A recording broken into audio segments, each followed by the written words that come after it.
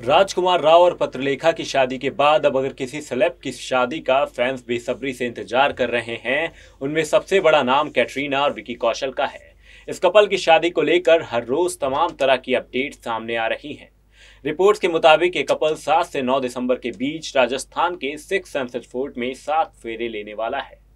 हाल ही में guest list को लेकर भी एक खुलासा हुआ था, जिसमें कुछ सेलिब्रिटीज के नाम सामने आए थे। इसी बीच एक न्यू अपडेट सामने आई है, जिसमें एक और गेस्ट लिस्ट को लेकर खुलासा हुआ है। राजस्थान के मशहूर फोर्ट में यह कपल रॉयल वेडिंग करने जा रहा है। दोनों ने शादी को लेकर आउटफिट भी डिसाइड कर लिए हैं। जयपुर में सिर्फ़ इतना ही नहीं, कैटरीना और विकी कौशल की शादी के चलते गाड़ियों की भारी कमी हो गई है। रिपोर्ट्स की माने तो विकी और कैटरीना के मैनेजर, होटल बुकिंग के अलावा अब कैटरिंग, सिक्योरिटी के बीच एक मीटिंग करने वाले हैं। शादी में आने वाले लोगों के लिए ट्रिपल लेयर सुरक्षा का इंतज़ाम किया जाएगा। वहीं शादी के दौरान बॉडीगार्ड और बाउंसर मौजूद रहेंगे। खबरें ऐसी भी हैं कि कैट की शादी में सलमान खान नहीं शामिल होंगे।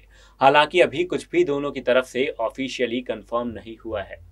आपको बता दें कि एक वक्त ऐसा था जब सलमान खान और कैटरीना कैफ एक दूसरे को डेट किया करते थे।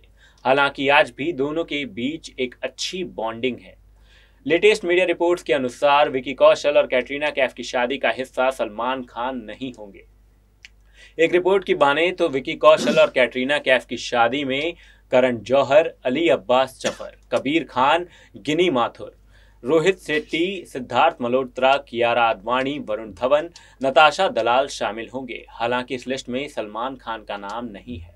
इसी के साथ अभी के लिए इस रिपोर्ट में सिर्फ़ इतना ही। अगर आपको वीडियो अच्छी लगी हो तो इसे लाइक करें, शेयर करें और साथ ही हमारे चैनल को करें सब्सक्राइब और जुड़े रहें हमारे